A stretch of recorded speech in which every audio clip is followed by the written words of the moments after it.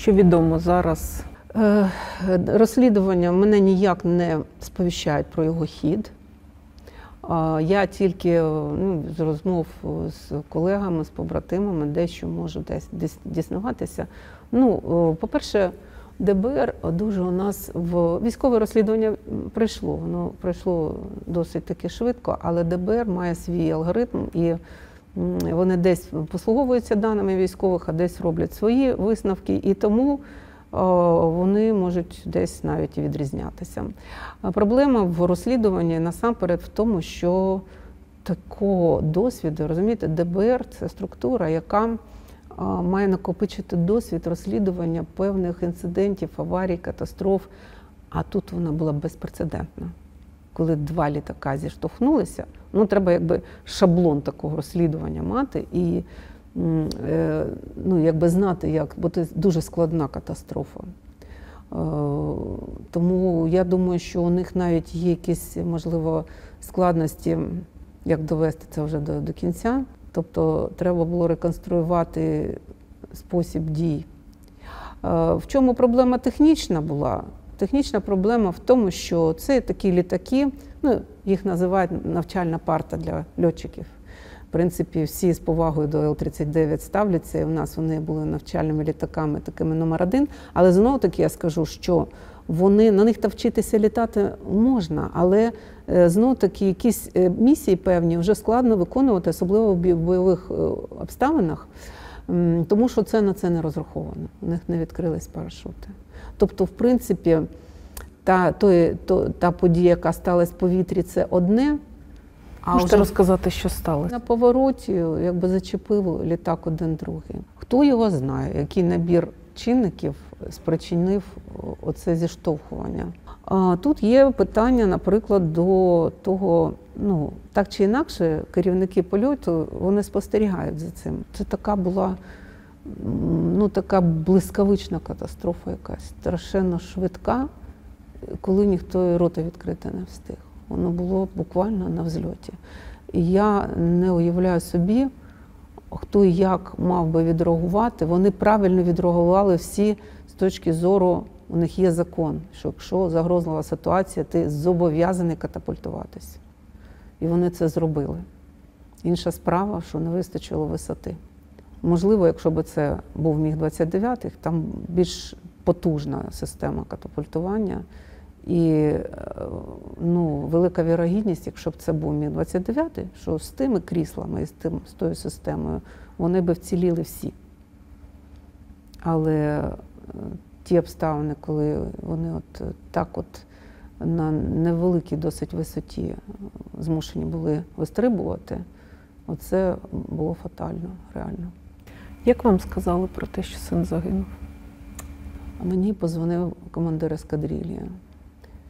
І він, в принципі, сказав спочатку ще, він якось так, можливо, мене пожалів.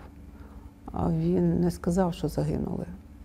Він сказав, знаєте, я от, е, значить, зараз е, злетіли два літака, і буквально на моїх очах вони зіштовхнулися, сталася катастрофа. Я питаю, купола ви бачили? І куполів не бачили. Це значить не розкрились парашути. Каже, наші рятівники їдуть на місце, я вам ще перезвоню. Тобто е, на перший, але він сказав, що вірогідність того, що вони вижили, дуже мала.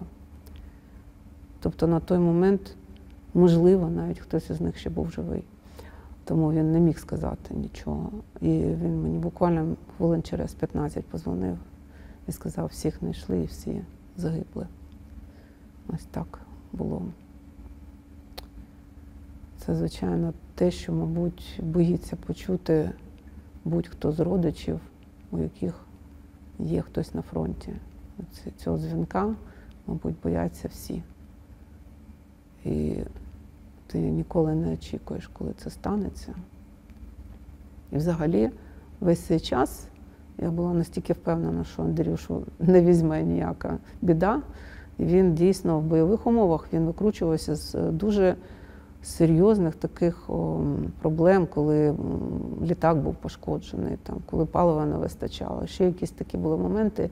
І він з більш, значно більш складних моментів виживав. Приземлявся. А тут, е, здавалося б, цей аеродром не на лінії фронту. Абсолютно така місія. Ну, вона могла бути різна далі по польоту. Я не знаю, що. Тому що ці літаки, хоч вони і навчальні, але вони використовуються з різною метою зараз також. Е, Тому як там заплановано було далі той політ, я не знаю. Ну, але Андрій, я так розумію, сидів для контролю, щоб всі розуміли, що він не керував. Керує командир екіпажу, той, котрий сидить перший. Тому він сидів другим. І е, ну, я думаю, що практично жодних шансів вплинути на хід цього польоту він і не мав. Ну, я не знаю, що там. Я не такий фахівець в цьому, щоб е, точно говорити. В жодному разі я не бачила ніяких документів розслідування. Але розумієте, є дуже м, такі серйозні моменти, пов'язані з тим, з нашим законодавством, наприклад. От Андрій встиг е, з нашою народною депутаткою Олександрою Остіновою ще з кількома фахівцями, е, вони встигли поміняти е, статтю Кримінального кодексу щодо кримінальної відповідальності льотчиків в разі аварії або катастроф. Тобто там було так прописано, що льотчик, що б не зробив, він винуватий, все, заграти його. Там було розписано абсолютно вже зрозуміло, що до чого і за що, стільки-то там років, стільки-то і так, і так далі. Тобто вже якісь там хоча б є градації, за що як карати. Тому що, в принципі, на льотчика можна навісити все, що завгодно. І так дуже часто бувало, на жаль, е, керівництво хотіло, можливо, там закрити якісь там негаразди, чого так сталося. І ну, якщо льотчик загинув, ну і на нього все.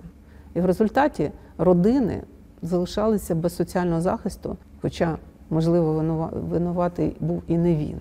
Тобто, оці моменти, коли навіть і зараз по війні, розумієте, дуже важко, коли родини, щоб родини не постраждали. І ну, я особисто не дуже впевнена, що зрештою буде написано так, як було, насправді. Я не знаю інтереси чиїх, е, е, ну, кого ще це зачіпає. І знаєте, я не знаю до кінця, як це буде все розслідувано, якщо чесно. Як ви прожили цей час без нього? Що ви робили? Ой, ну, по-перше, ми намагалися якомога більше його функцій якби розподілити між тими людьми, які знали, що він робив в певних напрямках, тому що це був ну, як людина комбайн. Він робив все підряд. Е, І там волонтерська діяльність одні займалися, там ну, навчання, там інші, там, ну, і, і ще якісь ділянки роботи. Ну, це просто все, що він один робив, вони перерозподілилися на ду- дуже багатьох людей, які е, ну, щось пам'ятали, що він хотів зробити, щось він не доробив, якісь завершити справи, щось зробити те, як він хотів. Тобто ми виясняли, ну, якби, якби продовжити те, ну, як його життя в, в тих справах. І ну, навіть деякі хлопці ну, не хотіли вони на те навчання, вони погодились, вони зрештою розуміють, наскільки це важливо. І зараз нам треба якомога більше, наприклад, е, хлопців відправити на навчання. Все ж таки, щоб Не вони всі хочуть вчитись на Ну, F-16. є такий трошки такий поріг психологі- психологічний, якась не трошки може невпевненість. Може, треба е, десь сидіти такий вивчати ту англійську мову. Ну десь треба через себе морально переступити, що в принципі зрозуміти, що назад дороги нема. У нас тільки один шлях до нових літаків. І давайте, якщо ви хочете, ну молоді офіцери, вам ще служити і служити. Ви хочете мати майбутнє в армії, ви мусите цей шлях пройти.